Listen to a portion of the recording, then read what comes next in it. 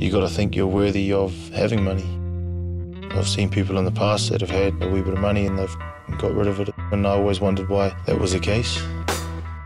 When you grow up in an area like Porirua, some people, it's like lotto winners. Maybe they get rid of it because their friends and family and all the people they hang out with don't have a lot of money. So they maybe gamble it away or get rid of it on cars and whatever else. For me, playing rugby is like winning the lottery because you know you got to believe that you're worthy of having having money, regardless of your upbringing.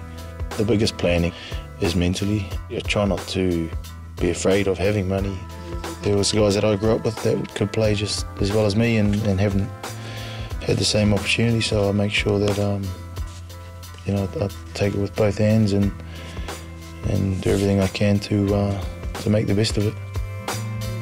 Money uh, does mean responsibility to me. You know, to be responsible for myself and, and for my family. Having the opportunity to play rugby and, and to make some reasonable money, you still got to be able to, to look after it because in the industry we work in, it can be quite fickle, it can change quite fast.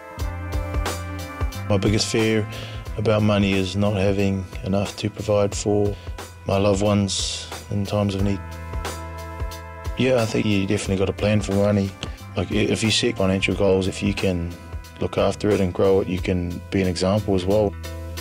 The best advice I ever received about money was have a plan and work the plan.